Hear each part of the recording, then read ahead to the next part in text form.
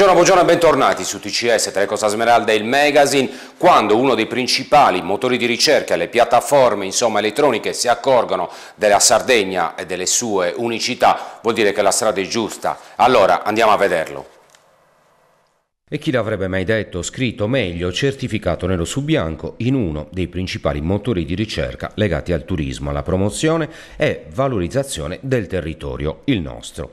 C'è dunque la piattaforma, il sito e pure il profilo Twitter di Viaggio Italiano e c'è la Sardegna, l'isola e le bellezze curiose, insolite e uniche, in particolare l'arte e i graffiti, schizzi a colori e scritte immediate, che sembrano titoli di quotidiani, disegni, mai definirli così quelli che da nord a sud, attraversando il centro, ognuno di noi almeno una volta nella vita ha visto, seppur di sfuggita, quei disegni, no, non chiamiamoli disegni, poi li ha osservati e fotografati fotografati meglio, meglio, ancora meglio ripresi. Si è fatto un selfie o una stories, oppure un mini video, anzi un reel, taggando il paese e poi inserendo il cancelletto di rito, l'hashtag Orgosolo oppure San Sperata e tanti tanti altri ancora.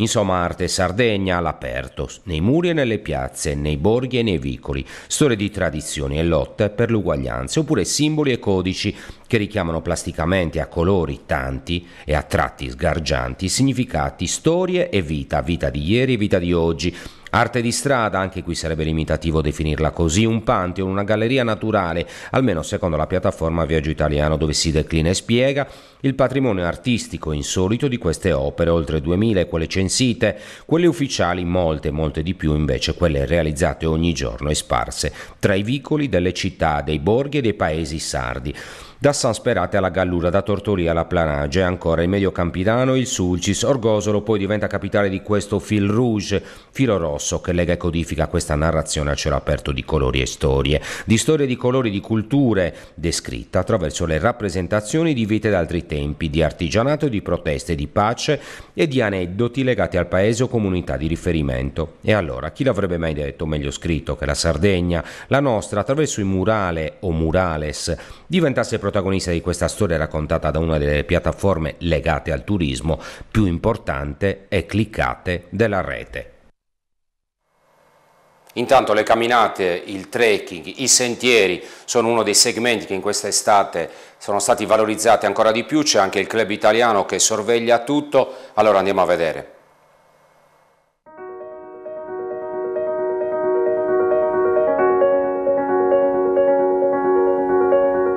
Le origini lontano 1879, con una breve esperienza e poi sempre più in alto con la sua definitiva fondazione nel 1932. Il CAI Club Italiano Alpino, sezione di Cagliari, continua la sua attività senza sosta, un punto di riferimento e una certezza di grande professionalità per chi vuole avere un rapporto stretto con la montagna tra escursioni, ciclo escursionismo, speleologia e arrampicata. Il CAI è un'associazione che rientra tra le associazioni ambientaliste eh, con lo scopo della frequentazione per la montagna, de, della montagna, la frequentazione consapevole. Eh, quindi i soci eh, sono accomunati dalla stessa passione e dallo stesso amore per l'ambiente. L'alpinismo in Sardegna è un movimento assolutamente vivo eh, che è rappresentato da tantissime altre realtà oltre a quella del CAI eh, quella del CAI, nel nostro caso specifico, noi qua abbiamo la scuola eh, di alpinismo. Come recita l'articolo 1 del suo statuto nazionale, lo scopo del sodalizio è quello di implementare l'alpinismo in ogni sua manifestazione, la conoscenza e lo studio delle montagne, specialmente di quelle italiane, e la difesa del loro ambiente naturale. In Sardegna l'alpinismo, con tutte le sue molteplici sfumature, è una realtà consolidata. Si sta lavorando con passione per fare in modo che anche questa disciplina diventi attrattore dell'industria turistica regionale. Dunque, l'alpinismo, ma in particolare l'arrampicata in Sardegna è già una realtà eh, piuttosto consolidata. Già eh, richiama tantissimi appassionati. Eh, dall'amatoriale al professionista che vengono qua per passare eh, del tempo per allenarsi addirittura.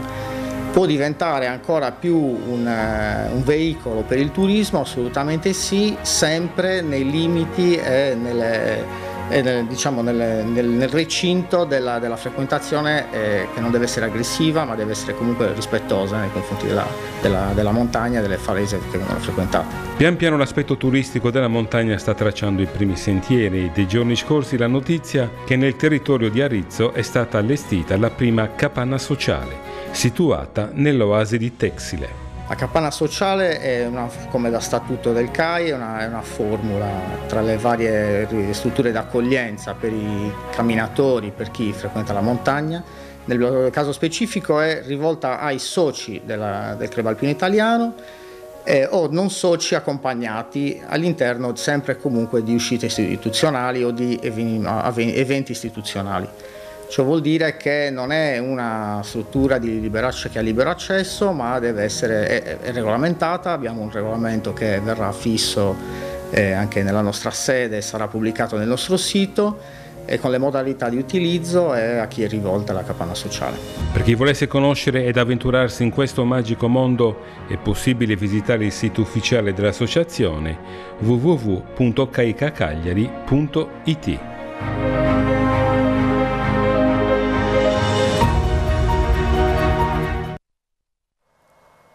E c'è il sole, come avete visto in questi giorni, anzi in queste settimane, che Costa Rey fa il pieno di turisti. Vediamo.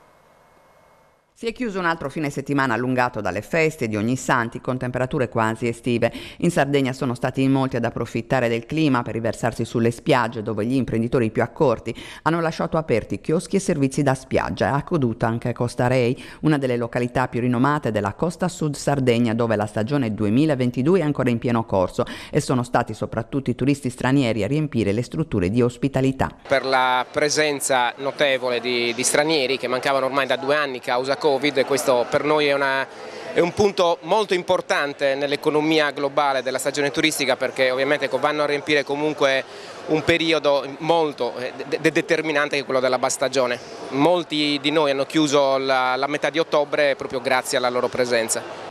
Costarei è un piccolo borgo turistico appartenente al comune di Muravera e da tempo ha approntato tutte le sue attività economiche intorno al settore turistico. Con ragione, le spiagge e le calette sono tra le più suggestive, la sabbia è finissima e a tratti sull'acqua cristallina compaiono costoni di roccia che rendono il paesaggio ancora più suggestivo. Il villaggio è composto prevalentemente da seconde case, resort e alberghi. La vita qui si anima soprattutto nei mesi estivi, anche se qualcuno ha finito per poi decidere di vivere proprio tra queste case per godere godersi la quiete dell'inverno e il mare che anche nella bassa stagione è comunque incantevole. Un nutrito gruppo di imprenditori qui a Costa Rei ha fatto fortuna tra bar, ristoranti, case e agenzie di intermediazione. La stagione 2022 sembra aver soddisfatto le loro aspettative. Il turismo della bassa stagione comunque è un turismo molto differente da quello dall'alto, cerca esperienze particolari, cerca angoli della Sardegna che molte volte eh, risultano inesplorati o poco visitati nel periodo estivo, quindi è una buona ragione quella, quella di insistere su queste attività, sulle attività collaterali cosiddette nel periodo estivo che invece diventano determinanti nel periodo di bassa stagione. Il nostro magazine ospita storie legate alla cultura, alla tradizione e alle curiosità. Adesso scopriamo quella di... andiamo a vederla.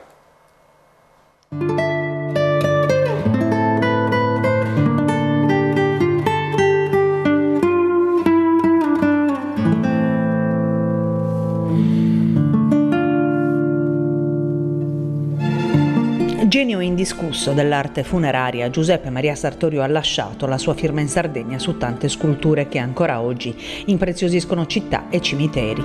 E sì, il suo talento spiccato emerge con forza, soprattutto nelle monumentali sculture a corredo di tombe e sepolcri, tanto da guadagnarsi l'appellativo di Michelangelo dei Morti. Proprio lui scomparso esattamente cento anni fa in circostanze misteriose, mentre si trovava sul piroscafo Tocra che copriva la tratta fra Olbia, allora Terranova, e Civitavecchia Civitavecchia, svanito nel nulla, in mezzo al mare. C'è un alone di mistero anche sulla scomparsa di quest'uomo. Sì, allora, l'alone di mistero è sempre quello. L'hanno ucciso, si è suicidato, è caduto accidentalmente dalla nave e quello resterà un mistero perché nessuno mai potrà sciogliere questo nodo che rimane lì e c'è poco da fare. In occasione del centenario Iglesias Unica nell'isola celebra con un convegno l'autore del suo monumento forse più identificativo, la statua di Quintino Sella nell'omonima piazza al centro della città. Siamo l'unico comune che appunto ha scelto di eh, celebrare questo scultore che peraltro è famosissimo eh, non soltanto in tutta la Sardegna ma anche nella penisola e eh, stasera peraltro scopriremo che è conosciuto anche in Europa. Eh, ma ci sembrava doveroso per quanto appunto ha lasciato non soltanto la celebre statua di Quintino Sella che tanto fu voluta da Roberto Cattaneo, eh, ma ha lasciato tanto proprio al cimitero monumentale di Iglesias che tale è proprio perché racchiude eh, nella maggior parte proprio le statue del Sartorio.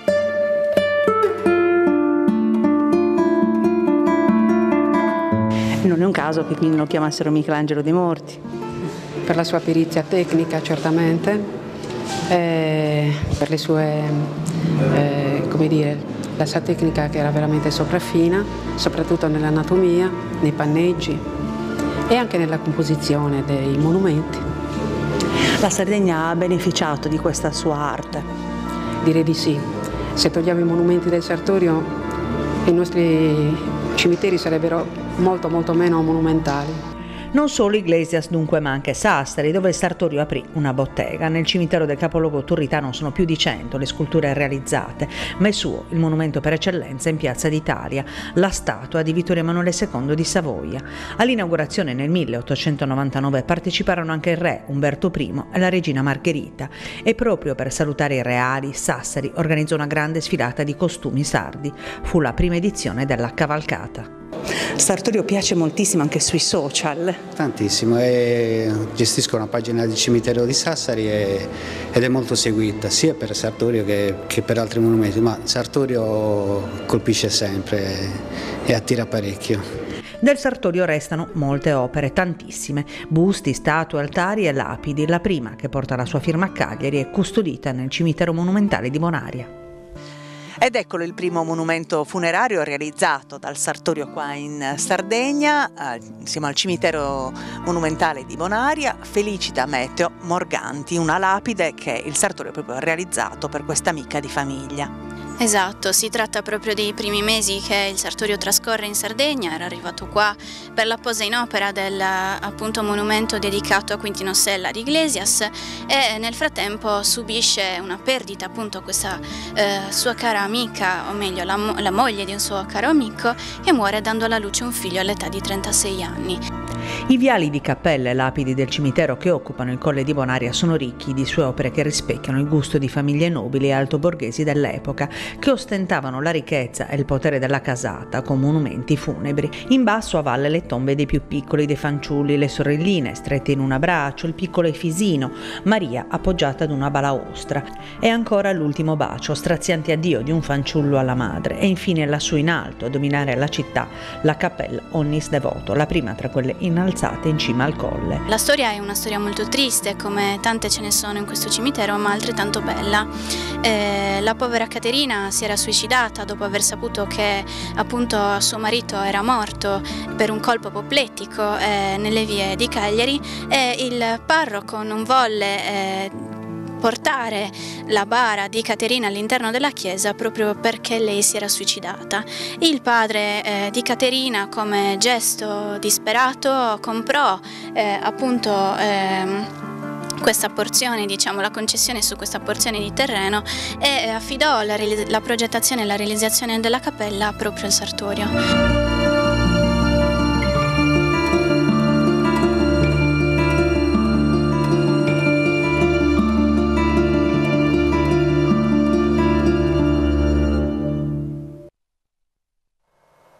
Insolito e curioso questa storia, altre storie delle nuove generazioni e uno sguardo alla nostra programmazione. Oggi alle 21 c'è il programma L'Europa dai fondi eh, alle idee, scritto e condotto da Leila Manunza, ci porta a vedere le nuove generazioni, cinque paesi diversi che arrivano in Sardegna, scoprono la Sardegna anche attraverso e grazie all'Europa. Io per ora termino qua, vi do appuntamento alle prossime edizioni, vi ricordo per chi non c'era trovate tutto nella nostra piattaforma social. Grazie.